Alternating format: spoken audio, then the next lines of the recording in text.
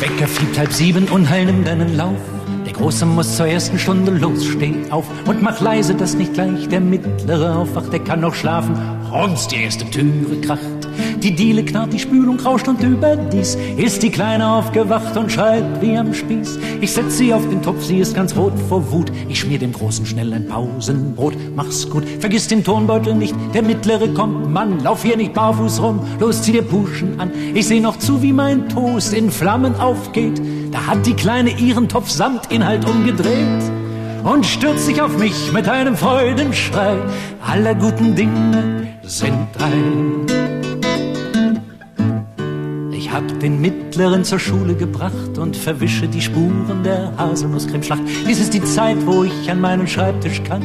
Die Kleine malt mein Bein mit einem Filzstift an und erledigt während eines kurzen Telefonats durchzerreißen die gesamte Post des Vormonats.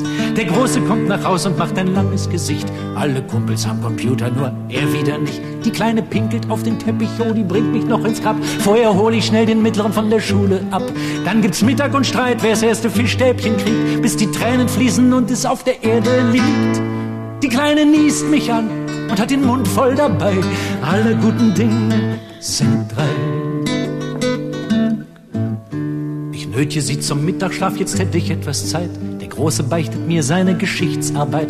Und jetzt hat er drei Chaoten zum Spielen bestellt. Nicht so laut, doch als der erste Stuhl umfällt, ist die Kleine wach, der mittlere schluchzt. Ich denk, ich soll zum Kindergeburtstag und hab noch kein Geschenk. Die Kleine steckt sich erstmal eine Erbse ins Ohr. Der Doktor ist ein Freund und nimmt uns rasch mal vor. Ich kauf schnell ein Geschenk und geb den mittleren ab. Komm schweißgebadet raus, ich glaub, ich mache schlapp.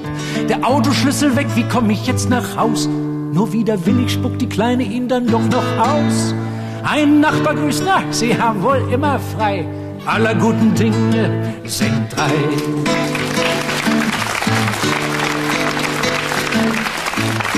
Zu Hause setzt bereits der Abendwahnsinn ein. Die Kleine rollt sich gleich mit hohen Spitzen schreien in einen Vorhang ein zu einem dicken Ballen und lässt sich samt Gardine auf den Boden fallen. Beim großen dröhnt Ohren betäubende Musik. Ey, Alter, bleib ganz cool, ich übe Mathematik.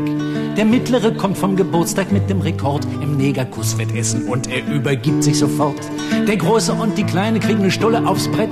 Der Negerkusswettesser eine Schüssel vors Bett. Zwei Einschlafgeschichten bei jedem von den dreien. Ich selber schlafe direkt bei der Tagesschau ein. Ich schlepp mich ins Bett, die Füße schwer wie Blei. Aller guten Dinge sind drei. Meine Frau lächelt mir zu, na überleg es dir. Vielleicht sind alle guten Dinge ja auch.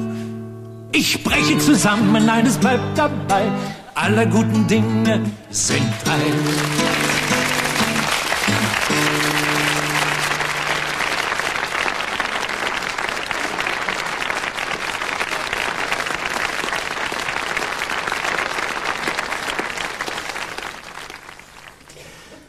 Am besten wäre es, die Kinder blieben klein, sagt Erich Kästner.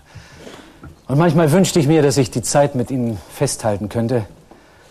Aber sie geht in sieben Meilenstiefeln dahin, aber um wenigstens einige von ihren Aussprüchen, von ihren Zitaten festzuhalten, hat meine Frau Tagebücher angelegt, die ich mitgebracht habe und aus denen ich Ihnen ein bisschen was vorlesen möchte. Das fängt an mit Victoria Luise May, alias Lulu. Lulu zehn Monate, Lulu Schuhe gekauft, Größe 18, der fünfte Zahn kommt, sie singt und tanzt und hat den Rhythmus im Blut, zieht sich gern aus und läuft nackt herum. Zwei Jahre. Lulu sticht mit einem Plastikritterschwert auf eine am Boden liegende Puppe ein. Da, totgeschlagen. Sie bemalt Türen, Wände, Laken. Alle Warnungen nützen nichts. Lulu zweieinhalb Jahre. Mit ihr auf dem Friedhof gewesen, Illy und Gerhard besuchen. Zu Hause berichtet sie den Brüdern enttäuscht. Sie waren aber nicht da. Dann haben wir das Register von Frederik, das ist schon etwas länger. Da ist mehr zusammengekommen in den Jahren. Er ist drei Jahre alt. Eine Nachbarin hält Frederik eine Süßigkeit hin. Na, wie heißt das Zauberwort? fragt sie und erwartet natürlich Bitte. Frederik aber antwortet ungerührt, Hokus Pokus Fidibus.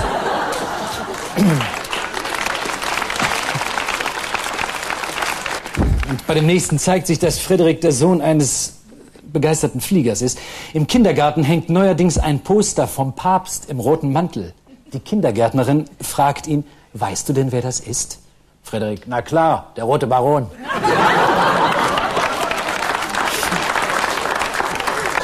Dann haben wir noch ein bisschen was von Maximilian.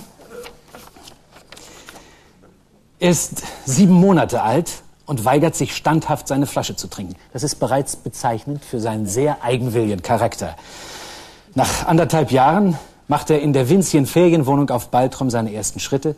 Er ist fasziniert vom Meer, spricht Mama, Papa, Wasser, Banane, Auto und Flugzeug und gibt sowohl Auto- wie auch Flugzeugmotorengeräusche von sich. Siebter Achter, er ist anderthalb Jahre alt, hingefallen, Zähnchen angeschlagen. 23.8. wieder hingefallen, anderes Zähnchen angeschlagen. Auf die Frage, Max, wollen wir uns küssen, antwortet er, nee. Max knapp zwei Jahre, bislang hat er nur Nein gesagt. Jetzt kommt manchmal auch ein Ja. Max zwei Jahre, er spielt im Wohnzimmer, plötzlich erschüttert ein ohrenbetäubender Überschallknall das Haus. Max, was hat denn Frederik jetzt wieder angerichtet? Max drei Jahre, er sieht zwei Polizisten mit einem Schäferhund an der Leine. Papa, haben die Polizisten den Hund verhaftet? Max fünf Jahre, 28.01.87. Max Kinderbett abgebaut und in den Keller gebracht.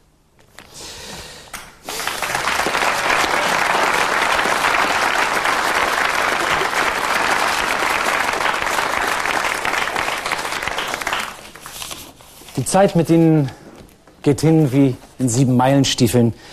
Und ich glaube, die allerschwerste Lektion, die ich mit ihnen zu lernen habe, ist die Lektion, die Kinder gehen zu lassen. Und ich übe schon langsam daran. Franz Werfel, Elternlied. Kinder laufen fort. Lang her kann's noch gar nicht sein.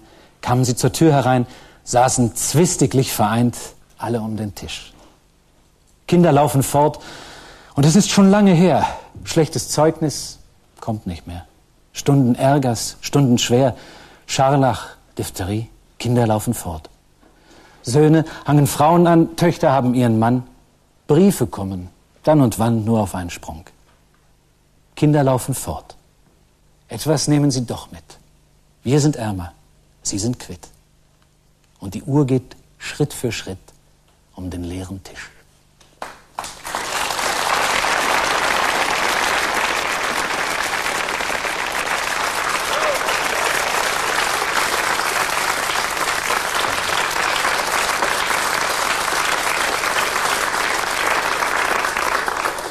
Manchmal, wenn ich zweifle, wenn es mir schwerfällt, den Sinn zu erkennen, aber wenn ich erkenne, was ich alles falsch mache und wie immer man es mit Kindern macht, man macht es immer falsch, dann tröste ich mich mit dem Gedanken, dass ich mir sage, ich versuche wenigstens es mit Liebe so gut wie möglich falsch zu machen.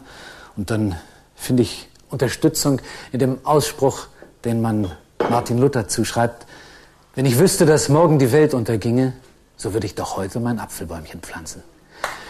Ich danke. Ich danke Ihnen, dass Sie diesen Abend, diese Stunde, dass Sie Lieder und Gedanken mit mir geteilt haben.